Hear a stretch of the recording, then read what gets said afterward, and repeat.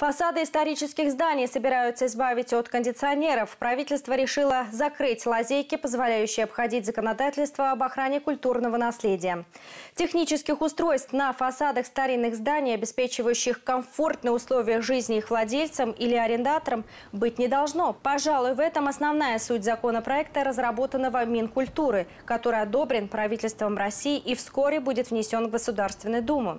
Законодатели поддерживают инициативу, но с уговором оговоркой, что для выполнения закона потребуются какие-либо технические решения, чтобы и город оставался красивым, и население не почувствовало ущемления своих прав.